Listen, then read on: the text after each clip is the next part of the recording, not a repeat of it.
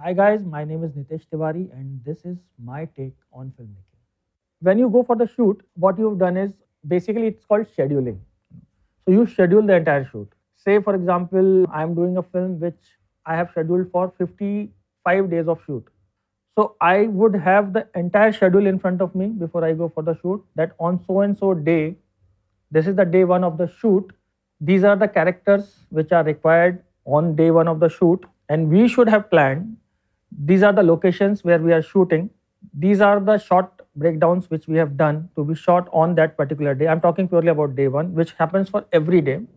We will have 10 scenes to be shot on that particular day depending on how heavy the scenes are. If the if a one particular scene is heavy you may end up shooting three scenes in a day. If all the scenes are much lighter you may end up shooting 18 shots in a day.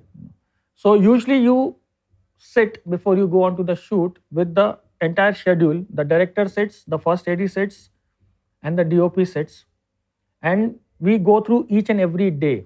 And maybe shuffle few days here and there because you think that okay day 15 is looking too hectic as of now. We may not be able to finish day 15 with these many shots. So is there any other day which looks little more relaxed? But at the same time you have to keep in mind also the location. Like once you go to a particular location, you would want to finish everything of that location on that day so that it works out financially very nicely. So this it's it's not as easy as people think. A lot of people believe that writing is very easy. A lot of people believe that filmmaking is very easy. I'm just trying to tell you that it's actually a very, very, very disciplined field and you need to do a lot of homework. We don't randomly walk onto sets and say, okay, switch on the camera and let's shoot. No, there is a lot of planning which goes into making a film.